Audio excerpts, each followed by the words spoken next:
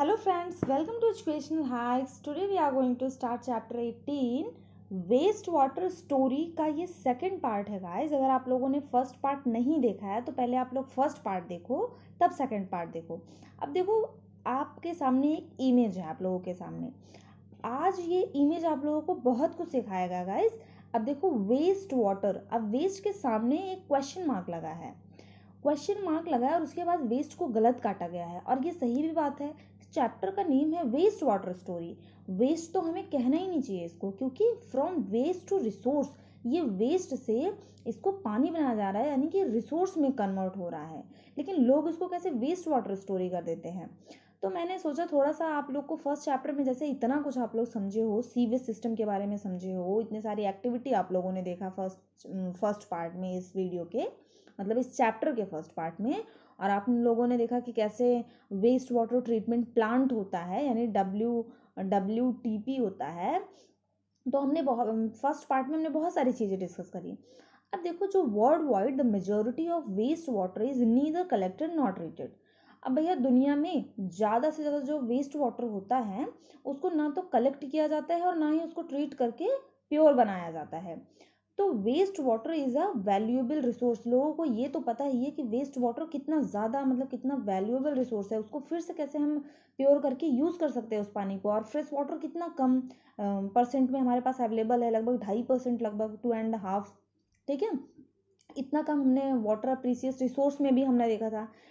But it is often seen as a burden to be dispose of the perception needs to change बिल्कुल perception को हमें अपना change करना चाहिए। ये जो वेस्ट वाटर को ट्रीट किया जाता है, जो वेस्ट वाटर ट्रीटमेंट प्लांट होता है, लोग इसको बर्डन की तरह क्यों लेते हैं? और मैं आपको एक इंटरेस्टिंग चीज़ बता दूँ, ये हमारे परसेप्शन को पहली बात तो चेंज करना चाहिए। दूसरी चीज़ ये है कि जो 80 percent of the global waste water जो होता है ना, उसको क्या किया जाता है? रिलीज़ कर दिया जाता है। इन्वामेंट में विदाउट किसी भी ट्रीटमेंट के उसको ऐसे ही रिलीज़ कर दिया जाता है। बताओ एट्टी परसेंट क्योंकि वेस्ट तो कभी भी रुकेगा नहीं। जो वेस्ट वाटर है, वो वेस्ट होना ही होना है उसको। तो अब देखो यहाँ पे कैसे फैक्ट्री और होम और सिटीज़ से कैसे वेस्ट वाटर आ रहा है और एट्टी परसेंट लगभग ऐसे ही समंदर और नदी में उसको मिला दिया जाता है। अब हमने पिछले पिछले पार्ट में हमने बोला था कि जो भी स्टूडेंट रेगुलर हैं, हम उसका नाम आज देख करके मतलब नोटिस तो रेगुलरली करते हैं बट आज मैं बता दूँ उसमें कौन कौन है। सबसे पहले तो मैं बताना चाहूँगी कि उसमें सबसे पहले है नॉलेज बाई अतिफ़ खान। ये बच्चा रोज़ देखता है वीडियो को अब इसको मैं रोज़ नोटिस करती हूँ। उसके बाद अखिलेश गेमिंग करके कोई है, उसके बाद लकी राज हैं अनुराग यादव हैं अंजलि गिरी हैं यशवर्धन सिंह हैं और रिद्धि सिसोदिया हैं सुचिता भी हैं। तो बहुत सारे बच्चे मतलब बहुत सारे तो नहीं कहूँगी, फिर भी कुछ बच्चे जो रेगुलर हैं, उनको मैं नोटिस कर रही हूँ। और इसको ज़्यादा से ज़्यादा आप लोग अपने फ्रेंड्स के साथ शेयर करो और अगर आप लोग को इंपॉर्टेंट क्वेश्चन चाहिए तो आप लोग उसको बताओ। और मैं सोच रही हूँ कि आप लोग को समरी भी करवा दिया जाए आप लोगों के फाइनल एग्ज़ाम के पहले। तो चलिए अब हम लोग पीडीएफ देखते हैं सेकेंड पार्ट का। बिकम एन एक्टिव सिटीजन से आज हमें देखना है। इससे पहले हम लोगों ने फ़र्स्ट पार्ट में देख लिया है। तो उससे पहले देखेंगे कि बूजो क्या यहाँ पे सोच रहा है। बूजो ये कह रहा है कि the water in a river is cleaned naturally by process that are similar to the adopted in a waste water treatment plant जो वेस्ट वाटर ट्रीटमेंट प्लांट में हम इतने सारे प्रोसेस के थ्रू वाटर को क्लीन करते हैं, वो नेचर में ऑटोमेटिकली होता है। इस प्रोसेस को ऑब्ज़र्व करता है बूझो। अब हम देखते हैं बिकम एन एक्टिव सिटीजन का क्या मतलब है? अब देखो, कुछ बच्चे ऐसे होते हैं या फिर कुछ पेरेंट्स भी ऐसे ही होते हैं। अगर उनके घर में बिजली पानी आ रहा है तो उनको मतलब नहीं है उनके आसपास क्या हो रहा है। लेकिन हमें अवेयर होना चाहिए कि हमारे आसपास किस तरह से हमारा सीवेज सिस्टम है और किस तरह से हमारे यहाँ मतलब हमारे आसपास कोई गंदगी तो नहीं इकट्ठा है, इसलिए हमें थोड़ा सा एक्टिव रहना पड़ता है, हमें क्योंकि हाइजीनिक रहना पड़ता है, ठीक है? और आसपास की चीज़ों को आप देखो कहाँ पे ज़्यादा मतलब कहीं कूड़ा तो नहीं इकट्ठा है और सीवेज सिस्टम प्रॉपर काम कर रहा है कि नहीं कर रहा है तो इस चीज़ को लेकर आप एक एक्टिव सिटीजन बनिए। अब आगे हम देखेंगे waste generation is a natural part of human activity अब इंसान जो है, ये एक समझ लो आप नेचुरल प्रोसेस है कि वेस्ट पानी वेस्ट होगा ही। अब आपके घर में वॉशरूम में अपने घर में अपना फ्लोर क्लीन कर रहे हैं किचन में कितने सारे तो वेस्ट होगा ही। लेकिन हम कुछ चीज़ों को क्या कर सकते हैं? लिमिट कर सकते हैं। अभी आगे बढ़ने से पहले हम एक चीज़ देख लेते हैं। हमने पहले भी आपको बताया कि आप ये जानते हैं कि it has been suggested that we should plant eucalyptus trees all along sewage ponds अब सीवियस पॉन्ड्स में जो है, हमें यूकोलिप्टस ट्रीज़ क्यों क्यों लगाना चाहिए? क्योंकि ये जो ट्रीज़ होते हैं यूकोलिप्टस ट्री जो होते हैं, ये क्या करते हैं? ऑब्ज़र्व करते हैं जितने भी ज़्यादा वेस्ट वाटर होते हैं। बहुत तेज़ी से उसको जो है क्या करते हैं? ये ऑब्ज़र्व करते हैं यूकोलिप्टस ट्री और रिलीज़ करते हैं pure water vapour into the atmosphere तो ये बहुत ही अच्छा चीज़ है। तो अब हम देखते हैं मतलब ये बहुत ही अच्छा ट्री है, आप कह सकते हैं। अब हम देखते हैं एक्टिव सिटीजन के साथ साथ अब ये जो हमारा वेस्ट वाटर होता है ये तो नेचुरली होगा ही होगा सबके घर में होगा हम इंसान हैं तो हमारी ज़रूरतें भी तो होती हैं। लेकिन हम क्या करते हैं इन वेस्ट वाटर को थोड़ा सा हम लिमिट कर सकते हैं और इनकी क्वांटिटी में थोड़ा सा हम आ, मतलब किस तरह सा वे किस तरह का वेस्ट है जैसे कि देखो, आप लोगों ने देखा होगा, एक ग्रीन डस्टबिन रखना चाहिए घर में, एक ब्लू रखना चाहिए। इस तरह से मतलब हम किस तरह का वेस्ट कर रहे हैं, इस पर भी हमें थोड़ा सा ध्यान रखना चाहिए। गीले कचड़े को एक जगह रखना चाहिए, सूखे कचड़े को एक जगह रखना चाहिए। इससे क्या होती है, चीज़ें थोड़ी थोड़ी ईजी बन जाती हैं। हम मार्केट जा रहे हैं तो हमें अपना बैग खुद कैरी करना चाहिए, हमें वहाँ से पॉलीथीन नहीं लाना चाहिए। ये हम समझ लो एटमोसफेयर में छोटा छोटा कॉन्ट्रीब्यूशन अपना दे सकते हैं। Often we have been repelled by offensive smell the sight of open drain is disgusting हम अक्सर देखते हैं कि अगर कहीं पे भी गटर खुला होता है तो कितना बुरी स्मेल आती है और जो है, ये देखने में भी बुरा ही तो लगता है। The situation worsen in rainy season when the rain start overflowing और ये जब बारिश का टाइम होता है तो ये सारी सिचुएशन यानी कि बदबू आना, चीज़ें जगह जगह पे ऐसे बिखर जाना, वो तो रेनी के सीज़न में बारिश के टाइम पे और भी बुरा लगने लगता है।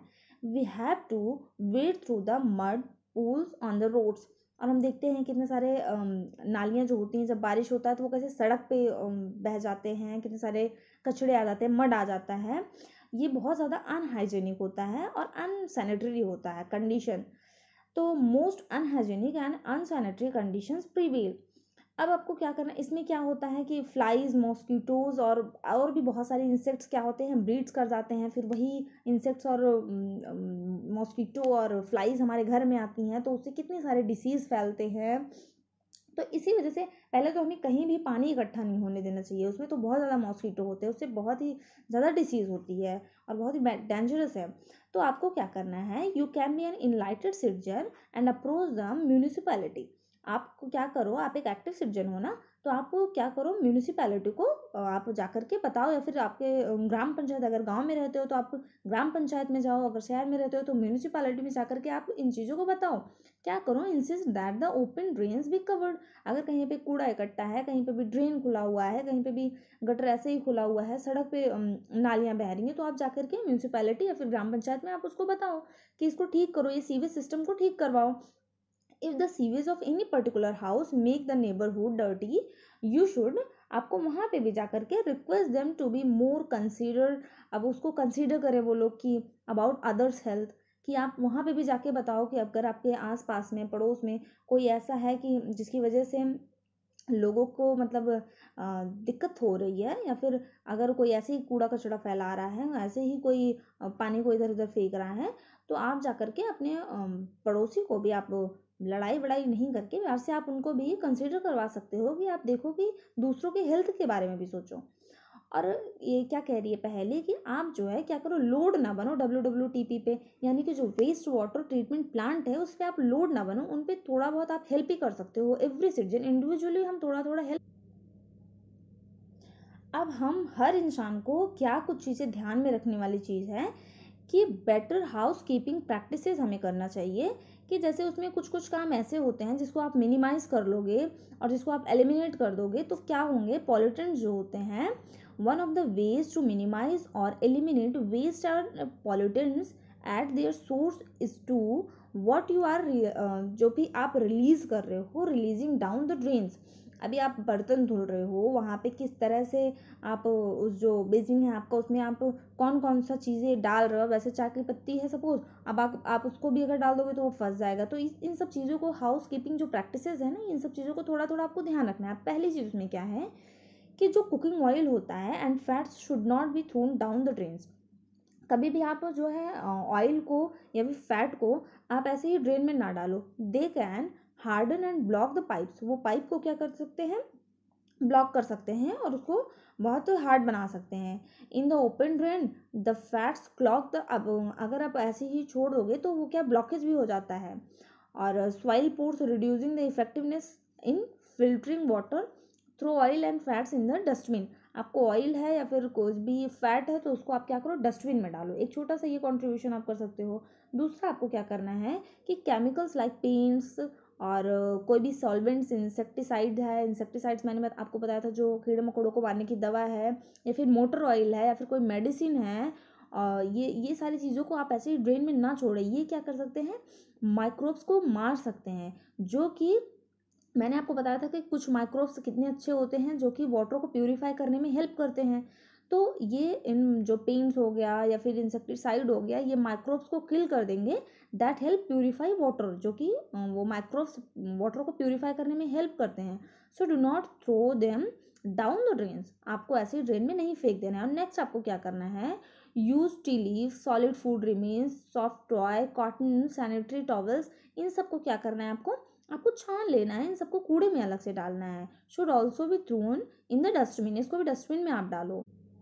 Use tea leave solid food remain soft toy cotton sanitary towels in सब चीज़ों को आप क्या करो डस्टबिन में फेंको, आप इनको ड्रेन में ना डालो, क्योंकि ये क्या करेंगे ब्लॉक कर देंगे पाइप को और ऑक्सीजन को फ्लो नहीं होने देंगे। They do not allow the flow of oxygen the hampers the जो डिग्रेडेशन प्रोसेस अब देखो यहाँ पे क्या कह रही हैं मतलब ऐसे ही देखो फ़र्स्ट वाले में क्या हो रहा है कि ऐसी जो भी चीज़ें हो रही है, सब ड्रेन में डाल दिया जा रहा है। लेकिन सेकंड में क्या है, उसको डस्टबिन में भी डाला जा रहा है। This is the right process आप, आपको क्या करना है do not throw everything in the sink आपको सब चीज़ ऐसे ही नहीं, बहुत लोग बर्तन धुलते हैं, ऐसे ही सारा डाल देखो। 2016 में आप लोगों ने स्वच्छ भारत के बारे में सुना ही होगा कि मोदी जी इतना ज़्यादा इसका कैंपेन किए थे। The government of India has initiated a new mission known as, इसको क्या जानते हैं हम, Swachh Bharat. Mission under which a lot of drives such as uh, proper sewage disposal and providing toilet for everyone have been started कितने सारे गाँव में इससे टॉयलेट अवेलेबल करवाया ये मतलब करवाया गया गवर्नमेंट के थ्रू स्वच्छ भारत अभियान के अंडर में और कितने सारे सीवेज सिस्टम को प्रॉपर किया गया कि डिस्पोजल सही जगह पे हो। तो स्वच्छ भारत मिशन जो 2016 में शुरू हुआ था, इससे बहुत लोगों को फ़ायदा हुआ और इससे, इस पर गवर्नमेंट ने बहुत काम किया था। अब आप नेक्स्ट देखोगे क्या है, ये हाईलाइटेड वर्मिंग प्रोसेसिंग टॉयलेट अब ये एक डिज़ाइन किया गया है design of toilet in which human excreta is treated by earthworms has been tested in India India में इसका टेस्ट किया गया और जो ह्यूमन एक्सेट्रा है जो ह्यूमन बेस्ड है उसको अर्थ वॉर्म के थ्रू जो है ट्रीट करवाया गया और इसको क्या किया गया? It has been found to be a novel और लो वाटर यूज़ और इस टॉयलेट में क्या होगा? पानी बहुत कम यूज़ होगा और सेफ़ प्रोसेसिंग है ह्यूमन वेस्ट के लिए। और उसको जो अर्थवॉर्म होते हैं the operation of the toilet is very simple and hygienic बहुत सिंपल प्रोसेस है ये और बहुत हाइजीनिक भी है।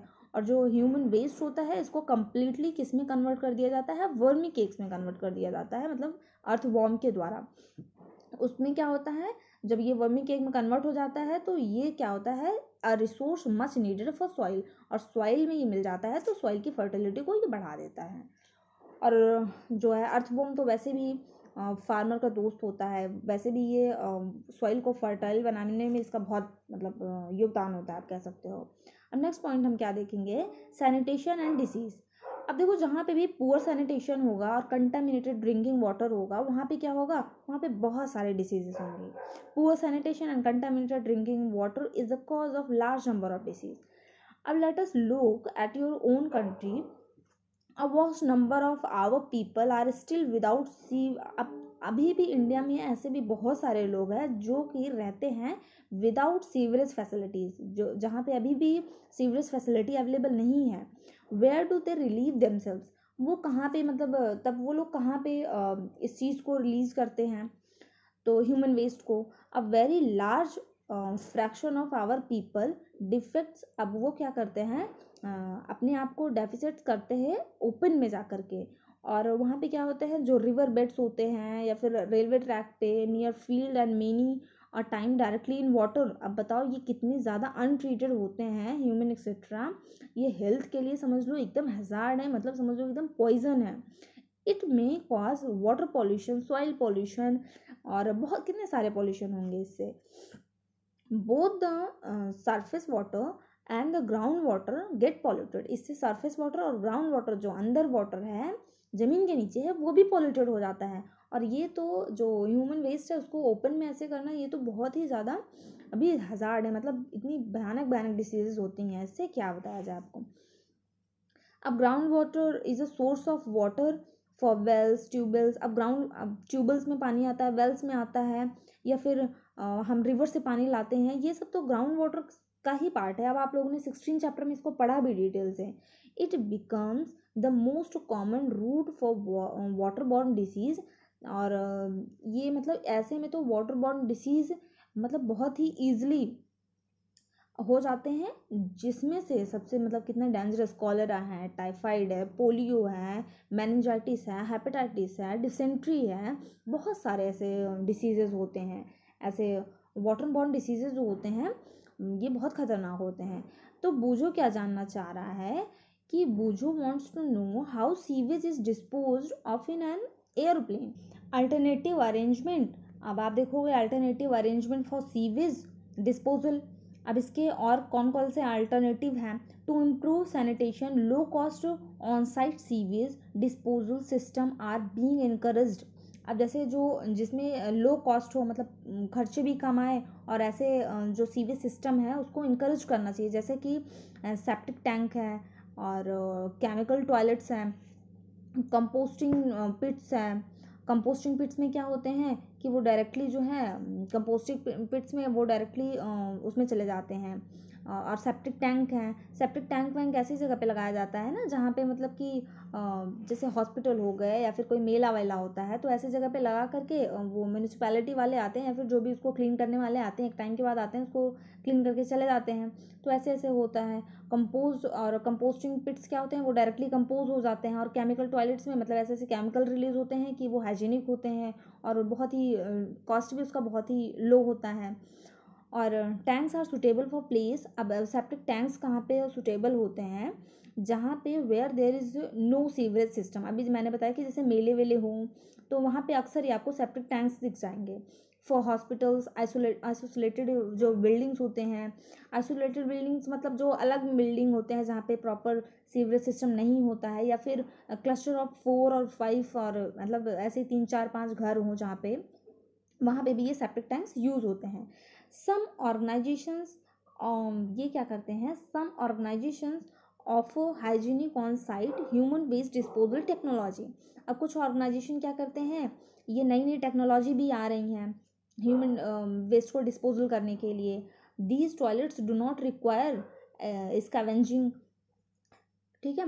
इन टॉयलेट को क्या है? स्कैवेंजिंग की ज़रूरत नहीं पड़ती है एक्सेट्रा और क्या करते हैं फ्रॉम द टॉयलेट सीज वो तुरंत ही कन्वर्ट हो जाते हैं drain into the biogas plants और ये क्या होते हैं तुरंत बायो गैस प्लांट में चले जाते हैं जिससे बायोगैस प्लांट जो होता है बायोगैस प्लांट क्यों यूज़ होता है ये तो आपको पता ही है कि सोर्स ऑफ़ एनर्जी है और तो डायरेक्ट उसमें चले जाते हैं तो ऐसे न्यू न्यू टेक्नोलॉजी के थ्रू बहुत सारे ह्यूमन बेस्ड डिस्पोजल का बहुत सारा आ, वो आ रहा है न्यू न्यू आइडिया मतलब वो न्यू न्यू टेक्नोलॉजी आ रही है आप कह सकते हो जिससे डायरेक्ट जो है एक्सेट्रा जो होता है वेस्ट जो होता है, वो चला जाता है बायोगैस में। अब सैनिटेशन एट पब्लिक प्लेसेस कैसे होता है? In our country fairs are organise periodically a large number of people participate in them अब बहुत हज़ारों हज़ारों लोग आते हैं, एक मेले में जाते हैं। तो फिर क्या होता है? In the same way railway station bus depots air airports पे आप चले जाओ hospitals are very busy places ऐसी ऐसी जगह पे लोग मतलब हज़ारों लाखों लोग आते जाते रहते हैं। तो वहाँ पे क्या होता है? Thousands of people visit them daily तो वहाँ पे कैसे जो है सैनिटेशन को कैसे मेंटेन किया जाता है?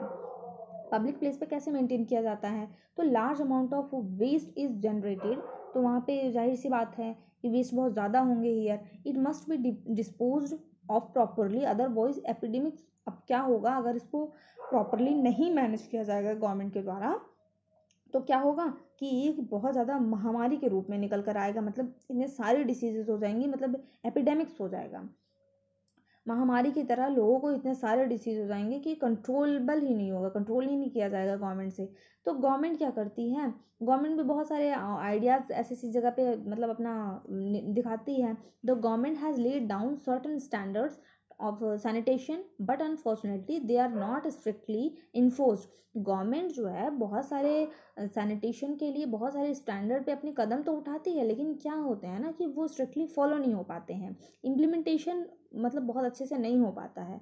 Ever all of us can contribute in maintaining sanitation at public places अब अपने यहाँ की पॉपुलेशन भी इतनी ज़्यादा है, इस वजह से हमें थोड़ी सी अवेयरनेस और ज़्यादा बढ़ानी पड़ेगी। हम इंडिविजुअली क्या करते हैं कंट्रीब्यूट कर सकते हैं गवर्नमेंट की हेल्प कर सकते हैं। गवर्नमेंट ही अकेले क्या क्या करेगी अगर इंसान ही नहीं चाहेगा? तो हमें क्या करना चाहिए? हमें भी थोड़ा सा अपना योगदान देना चाहिए। We should not scatter litter anywhere हमें कहीं पे भी आपने टॉफ़ी खाया चॉकलेट खाया, कहीं पे भी पैकेट नहीं फेंक देना चाहिए। और अगर अगर वहाँ पे आपको डस्टबिन नहीं भी दिख रहा है, वैसे तो आपको पब्लिक प्लेस पे दिख जाता है। अगर नहीं भी दिख रहा है तो हम उसको क्या करें? अपने घर पे लेकर आए, अपने घर पे उसको डस्टबिन में डालें। तो ऐसे छोटे छोटे योगदान हम जो है, कर सकते हैं गवर्नमेंट का। तो कंक्लूजन में क्या निकला? We all have a role to play in keeping our environment clean and healthy तो हम सबका अपना एक ड्यूटी होता है ना। अभी आप देखो फंडामेंटल राइट्स पढ़ते हो तो फंडामेंटल ड्यूटीज़ के साथ आप ये भी उसमें ऐड करो कि हम अपने इन्वामेंट को जो है क्लीन एंड हेल्दी रखेंगे। तो आपको क्या कंट्रीब्यूट करना है? You must realise your responsibilities in maintaining the water source आपको water sources in a healthy state ठीक है? आपको अपनी रिस्पॉन्सिबिलिटी को रियलाइज़ करना है और जितना भी आप कंट्रीब्यूट कर सको इन्वायरमेंट को क्लीन रखने में आप करो। Adopting good sanitation practice should be our way of life हमें अपनी जो भी सैनिटेशन प्रैक्टिस हैं, उसे जो है, एक सही तरीके से राइट डायरेक्शन में और अपना एफर्ट लगाते हुए थोड़ा ही थोड़ा कंट्रीब्यूशन करेंगे तो एक अच्छा सा मतलब हमारा इन्वायरमेंट क्लीन रहेगा और क्या। As initiatives will make a great difference as an agent of sorry यहाँ से पढ़ना था। As an agent of change your individual initiatives will make a great difference अब आप ये मत देखो कि आपके आसपास लोग क्या कर रहे हैं। आप कोई भी शुरुआत अपने आप से ही करके देखो ना। तो आपको देख के चार लोग और मोटिवेट होंगे। वो भी उस चीज़ को फॉलो करेंगे। सपोज़ आज से अगर आप मार्केट जाओगे तो आप बैग था, कुछ आप अपने पास बैग कैरी करोगे। वहाँ से पॉलीथीन नहीं लाओगे। तो आपको देख करके आपके घर में छोटे भाई या बड़े भाई कोई भी होगा, वो भी इस चीज़ को सीखेगा। तो इन्फ्लुएंस करो दूसरों को। Influence other with your energy अपनी एनर्जी के और अपने आइडिया से दूसरों को जो है आप सिखाओ कि ऐसे नहीं, ऐसे अपनी का, आप करोगे ना तो दूसरा कोई आप ऑटोमेटिक सीख लेगा और ऑप्टोमिस्टिक बनो अपनी लाइफ में।